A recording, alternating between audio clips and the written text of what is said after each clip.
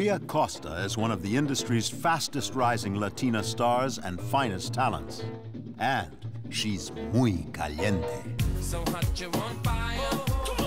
So hot you're on fire. So hot you're on fire. The multi-talented Maria Costa, she's a fellow comedian. I am here with Maria Costa, incredibly beautiful and talented. This is a one-woman show, ladies and gentlemen. She's an incredibly talented actress for both drama and comedy. Maria Costa.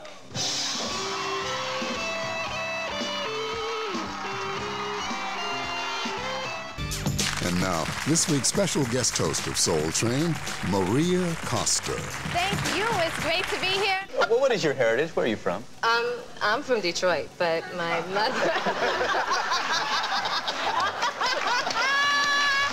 okay. Thank you. Maria has also starred on primetime television. Suarez, are you still working on those nails? You do know the final exam is timed, right? Look, Valerie, I'm going through problems with my family right now. Oh, no. No, I don't want your excuses, Suarez. I want your commitment to beauty. What does this look like? Oh, my God, is that an engagement ring? Yeah.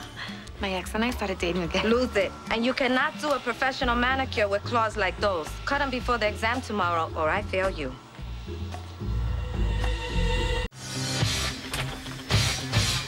What are you doing here, Suarez? I'm finishing this course so I can take care of my family. I was hoping I scared you off. I'm not a kid. I don't scare that easy. Okay, people, we're being timed on this starting now. So brush it high or say goodbye. Maria also guest starred on CBS's Joan of Arcadia. Now, now, you promised to play nice with the citizens. I don't remember that. And Lifetime's Strong Medicine. Judge, she gave him the max. Seven years? How could she do that? Alma Award nominee for Best Actress in a Dramatic Series for her series regular role in the ABC drama Dangerous Minds. I hate myself. You came back. That's not hate. That's love, darling. That's love.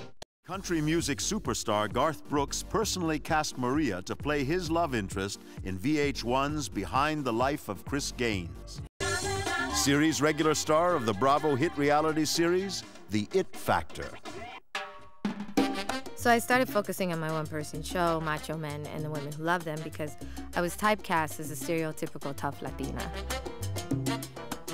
On one hand, he wants me to be wild and sexual and spontaneous, and then on the other, he wants me to cook and clean and be traditional. And I tell you, it's not easy being a virgin and a puta at the same time. Oh, I'm sorry. Oh my gosh, I'm so sorry. Please, please do not be alarmed. I'm not crazy, I'm just Latina.